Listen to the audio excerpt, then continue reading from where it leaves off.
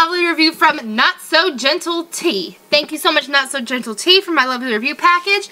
They sent me a bunch of goodies, and they are Not So Gentle Tea. They are a loose leaf, I mean, uh, they are a tea company. And they have branded stuff, which is really, really cute. This is like a camping mug that they sent me. Um, the reason that they're called Not So Gentle Tea is because they are a bold flavored tea. They carry three different types in two different packaging. and They sent me all of it. This is the General, which is the green tea. This is a no-holds-barred salute to flavor. The General is a unique blend of Sencha and matcha greens from the land of the rising sun. They are paired with turmeric and ginger allies that offer an assault on weak flavor and inflammation, boosting the body's antioxidant counts to boot. Stay strong, soldier. So, there's that. And then they also have it in a box form as well. If you open it up, that's what it looks like. And the reason that it looks like that is from the matcha, because the matcha is a little bit finer ground than, than regular tea. So that's the general, which is their green tea. Then we have the herbal one, which is the blacksmith.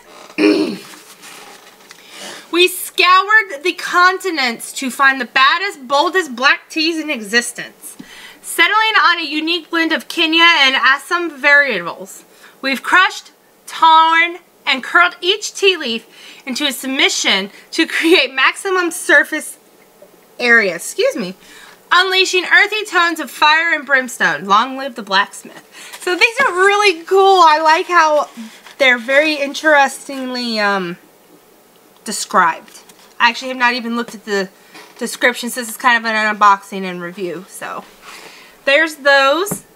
Like I said, it comes like this or like this I just realized that that's the Huntsman. This is the black. This is their black tea. And then you have their herbal teas, which is called the Huntsman.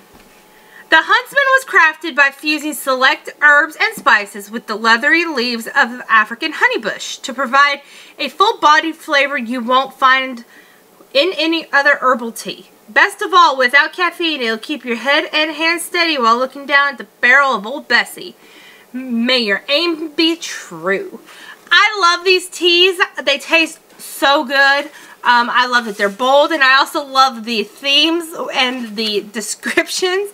If you guys would like to check them out, you can head on over to www.notsogentletea.com and check them out. If you want to see more tea unboxings and reviews, give me a thumbs up on this video. Subscribe to my YouTube page. Visit me mysteriousramblings.com. And y'all, be sure to stay bold and drink not so gentle. And until next time, guys, peace.